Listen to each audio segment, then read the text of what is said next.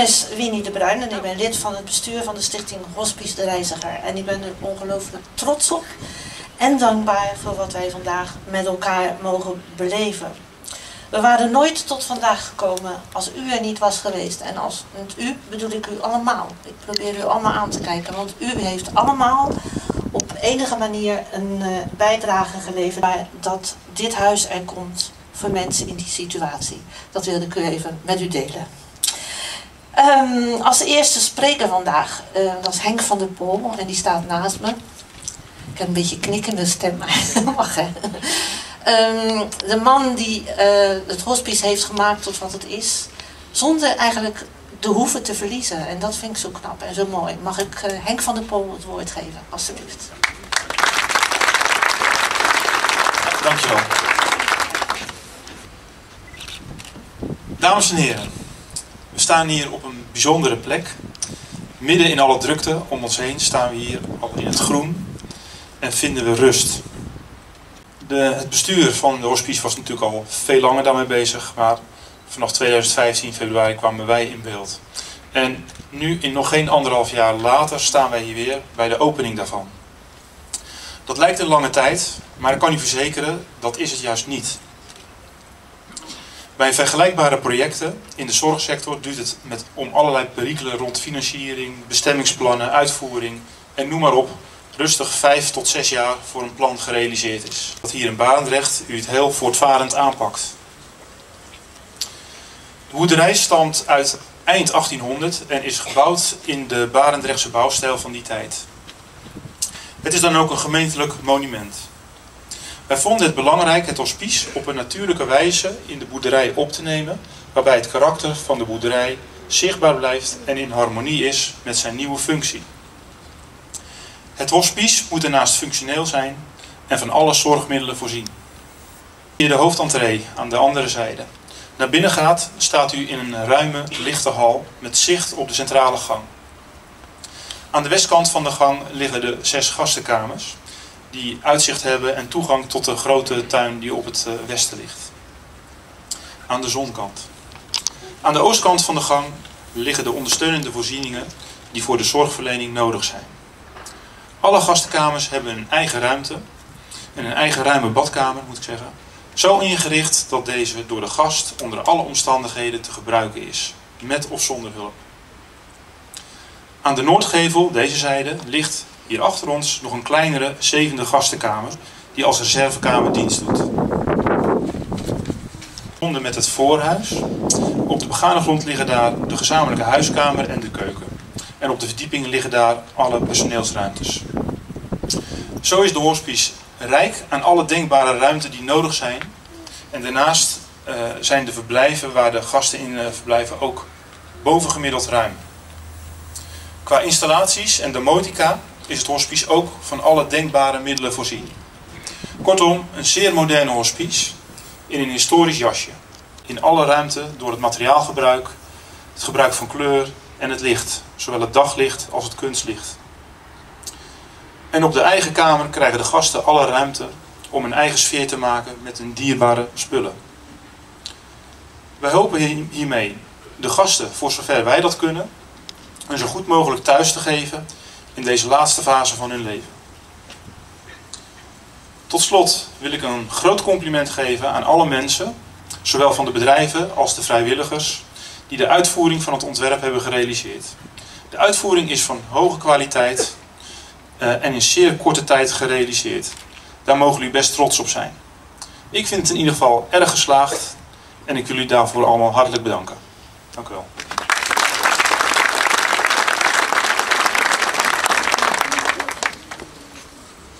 Dankjewel.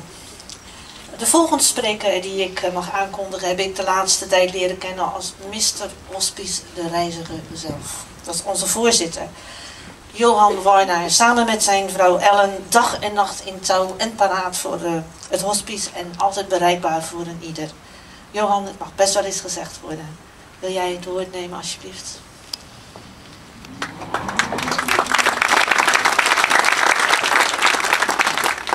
Dankjewel uh, Winnie. En uh, voor Winnie geldt uh, lastige omstandigheden deze week, maar toch op de brug gebleven. Zo hoort het ook. Meneer de burgemeester, dames en heren, genodigden bij deze bijeenkomst. Ik zou liever zeggen, vrienden van Hospice, de reiziger. Fijn u allen eh, hier te treffen. Fijn om samen met u allen als betrokkenen Hospice, de reiziger, de ruimte te geven. Ruimte om zich te ontwikkelen tot een toonaangevend bijna thuishuis. Die ambitie willen we graag hebben. We moeten streven naar het onmogelijke om het mogelijke te bereiken. is een van de kreten waar ik graag op terugval. Uh, Ruimte ook om zich te ontwikkelen tot een of invulling te geven aan de missie, de opdracht van het hospice, statutair vastgelegd als het faciliteren en organiseren van hulp aan mensen in de laatste levensfase. Dat is wat we willen uh, doen. De woorden van uh, Henk van der Pool, waarvoor dank uh, Henk, betekenen voor ons het einde van het bouwtraject. Het volbrengen van de eerste fase. Het realiseren van een hospice voor de regio Midden-IJsselmonde. Een eerste halte op de reis die we als bestuur van de Stichting Hospice, en Henk memoreerde het al, in het voorjaar 2013 zijn begonnen en die ons vandaag, drie jaar later, hier op deze plek samenbrengt. De hardware staat er. We zijn er tevreden over. Is zelfs meer en mooier geworden dan we drie jaar geleden in gedachten hadden. We hopen dat u na de bezichtiging straks ook tevreden kunt zijn over het resultaat. We horen het graag. Ik wil u vanmiddag graag meenemen om vanaf dit tussenstation vooruit te blikken op de reis die voor ons ligt. Wat ik niet ga doen, is een ieder die een bijdrage geleverd heeft aan het bereiken van deze mijlpaal persoonlijk bedanken. Dat is een hele lange lijst, die misschien net voor donker in zijn geheel behandeld zou uh, hebben. En aangezien we slechts alle logeerbedden meegerekend over tien plekken uh, beschikken, kan ik u dat niet aandoen. Dat wil ik u ook niet aandoen. Ieder van u hier aanwezig heeft op zijn of haar manier, op zijn eigen wijze, een bijdrage geleverd of zal dat naar onze vaste overtuiging in de komende periode gaan doen. Ik wil daarom vandaag volstaan met u allen heel, heel hartelijk te danken voor uw steun in de afgelopen periode en de hoop uit te spreken dat we ook in de komende jaren op uw support mogen rekenen. Dat hebben we als 100% vrijwilligersorganisatie, dat zijn we, ook in het volgende traject nog heel hard nodig. Ik zei het al, de hardware staat er. Hardware met een D.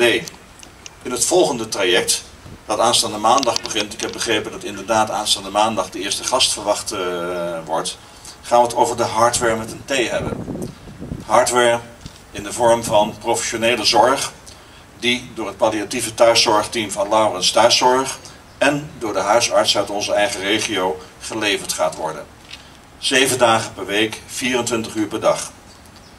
Hardware, nog steeds met een T, zeker en ook vooral te vinden in de aanvullende ondersteuning van onze gasten en hun relaties door de inmiddels meer dan 100 vrijwilligers, mensen, zijn er hier een, een heleboel van, die zich belangeloos in gaan zetten om het onze gasten, mensen in een terminale levensfase, zo goed mogelijk naar de zin te maken.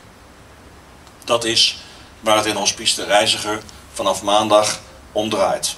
Het gaat om die ene mens, die reiziger in tijd en ruimte, die ondersteund, bemoedigd, gelaafd en gespijsd zal worden als voorbereiding op de reis die onvermijdelijk zal volgen.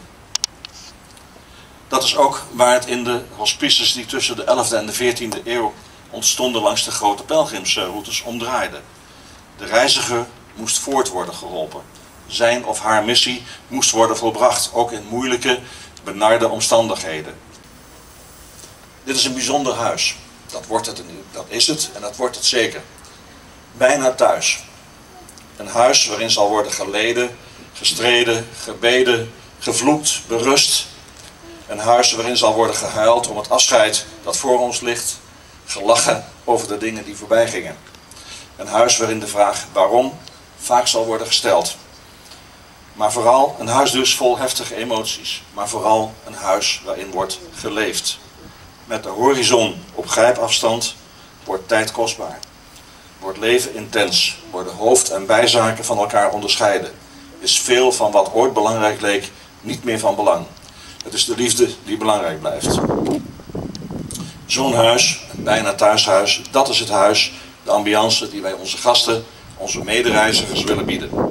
Ik hoop, ik zei het eerder, dat u ons, ik kan niet vaak genoeg zeggen, dat u ons ook daarin de komende jaren uh, wilt ondersteunen.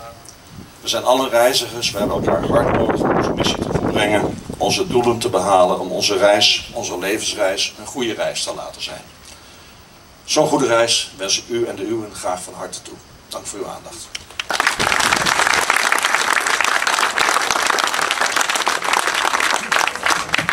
Ja, Mr. Hospice, de reiziger zelf. Zit in zijn hart en in zijn bloed.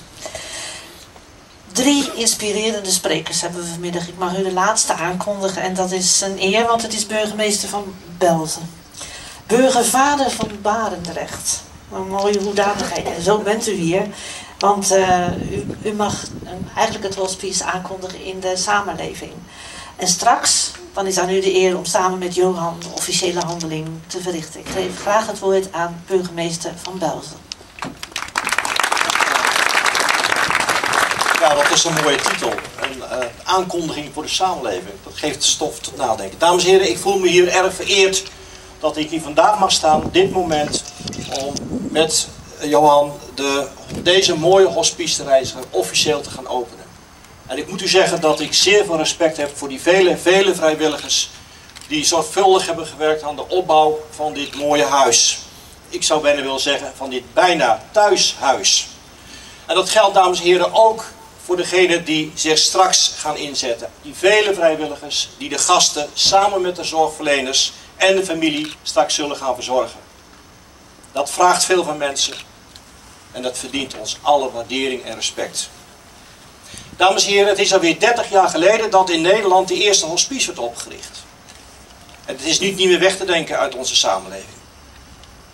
En ik zeg er tegelijk bij, het is meer dan nodig, meer dan ooit nodig, dat mensen die palliatieve vorm, zorg krijgen, die ze ook nodig hebben, die ze ook krijgen. Waar gasten op hun laatste reis worden verzorgd door vrijwilligers, zorgverleners en familie. Inderdaad, bijna net zoals thuis. En daarom sta ik hier als trotse burgervader, wordt gezegd, maar ook als trotse burgemeester. Trots op al die mensen die in zo'n korte tijd dit hospice konden realiseren. En als college van Barendrecht vinden we dit een waardevolle toevoeging aan de gemeente. En dat geldt niet alleen voor het college. Ik zie ook gemeenteraadsleden hier staan. Die hebben ook hun bijdrage geleverd. En die hebben ook uitgesproken dat ze dit zeer waardevol en belangrijk vinden. Ja, inderdaad, een aanvulling voor de inwoners van Barendrecht, maar ook daarbuiten, de omgeving. Zodat men ook de laatste maanden van het leven in de eigen vertrouwde omgeving kan doorbrengen. En nu staan we hier op deze mooie plek. Een unieke plek. Waarbij het college het ook belangrijk vindt dat het een veilige plek is. En daar hebben we dan ook samen met de veiligheidsregio Rotterdam naar gekeken en afspraken over gemaakt. Zo zijn er veel mensen betrokken geweest bij het opzetten van dit hospice. Ik denk ook aan de lokale financiers. Maar ook de enorme hoeveelheid vrijwilligers die er met man en macht, met ziel en zaligheid aan hebben gewerkt. Het liefst, dames en heren, zou ik ze vanmiddag allemaal persoonlijk willen bedanken.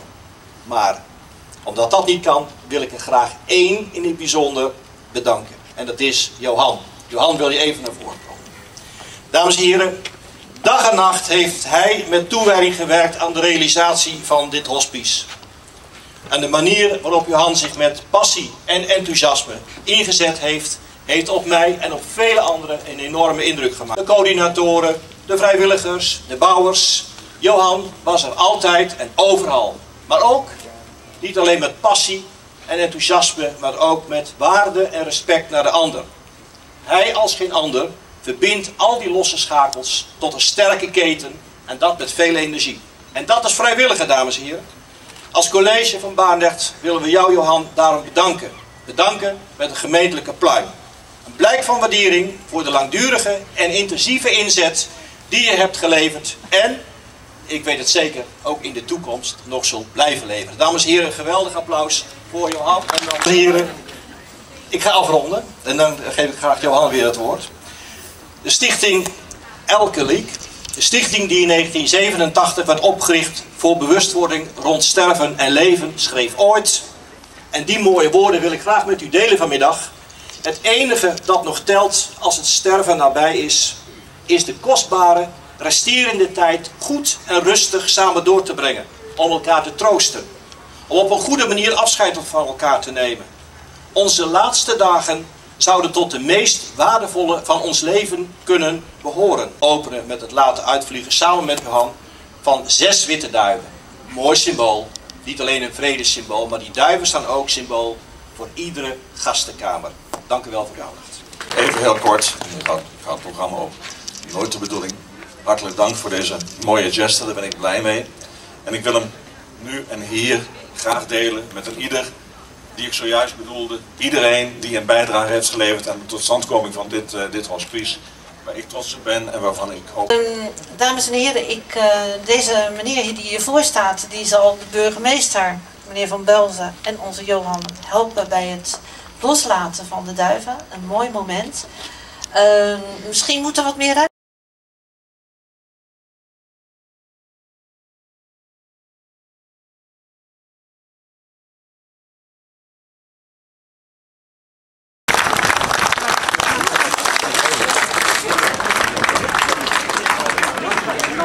Daar gaan ze. En ze zijn alweer bijna thuis.